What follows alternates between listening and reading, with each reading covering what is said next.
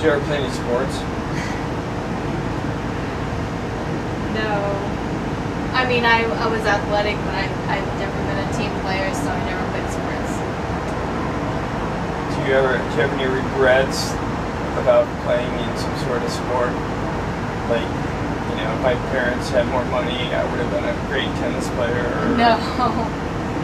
I've never been a sports person. Like, I, I love to work out at the gym. I mean, I was really into martial arts for a bit, and uh, skateboarding and roller skating, ice skating. But I never, I never wanted to do that more than, than just as a hobby. Yeah.